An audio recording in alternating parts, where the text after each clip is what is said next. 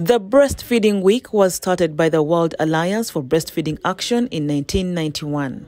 A year later, the first Breastfeeding Week was marked, and in 2016, it was then adopted in Goal 4 of the United Nations Sustainable Development Goals. Uh, every year, the first week of August is the World Breastfeeding Week.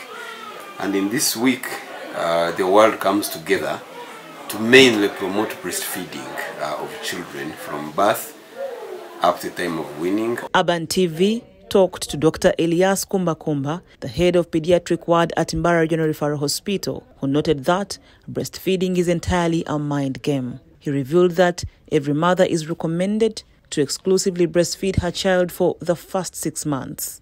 The recommendation is to breastfeed from birth exclusively without giving anything else uh, up to six months of age for a, a newborn, for, for a child. Then there after six months, we introduce other foods, family foods that we call complementary foods, up to the age of two years. Um, so the, the World Health Organization recommends that we breastfeed or babies be breastfed from birth up to the end of two years, but the first six months should be nothing else other than breast milk. He says that even after the first six months after birth, the mother should continue breastfeeding up to the age of two years.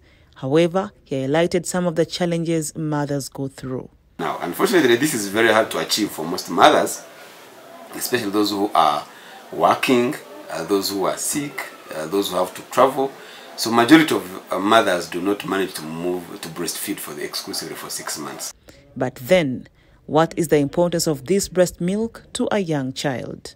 And the more the child breastfeeds, the more the breast milk flows. So it's, it's a natural system that generates more breast milk according to more breastfeeding. So mothers benefit more by breastfeeding more often and especially for the first six months if they're not using anything else.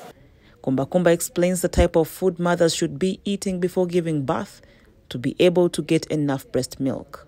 So during pregnancy, we recommend that mothers take a balanced diet that contains all the minerals and foods, proteins, uh, carbohydrates, fats, uh, fruits and vegetables which contain minerals and salts. About the premature babies, Dr. Kumbakumba explains how a mother can express breast milk and feed their child.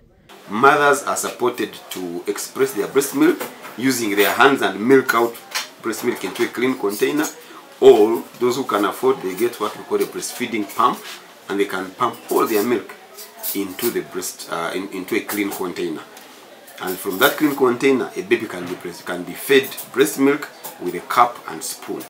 At Mbara City Health Center 4, we found Madrin Twinobusinje, a midwife, teaching mothers how to handle their babies while breastfeeding. nabateresi oti omukono nguza kujana na fesa hiyaza. Noyonsi kumarira itano Amina Naluima, a breastfeeding mother, explains how it was not easy for her child to learn how to latch on the breast. But with time I was like, eh, now what I have to do is I have to breastfeed my child for her to grow very well. Because when you breastfeed very well, the child grows perfectly.